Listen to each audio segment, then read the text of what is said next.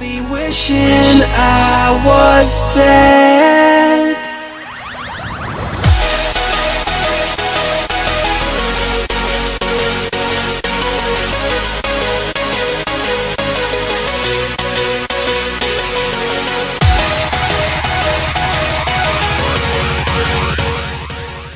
Salut à tous les glitchers, c'est Alias et aujourd'hui on se retrouve donc pour une toute nouvelle vidéo de glitch sur Call of Duty Black Ops 2 donc il s'agit d'une petite exclusivité sur la carte ville.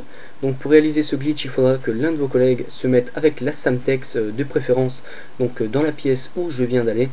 Donc euh, pourquoi avec la Samtex? Car quelques zombies arrivent sur lui, donc un ou deux environ par manche. Donc après je vais pas vous apprendre à jouer, vous allez faire une ou deux boîtes si vous le souhaitez. Donc vous allez aller au mastodonte, donc euh, après avoir ouvert la porte bien sûr pour y accéder.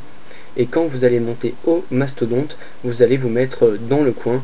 Et euh, donc que vous soyez dans le coin du mastodonte exactement ou devant le tonneau ou autre le glitch marchera quand même. Donc une fois que vous êtes là vous verrez que les zombies eh bien quand ils passent devant moi ils ne prêtent pas attention du tout à moi et en fait eh bien ils vont tous tomber en bas ne vont pas aller sur mon collègue mais vont effectuer un parcours donc ils vont faire tout le tour en quelque sorte ils vont euh, toujours tourner euh, autour du bâtiment sans venir sur euh, moi et mon collègue.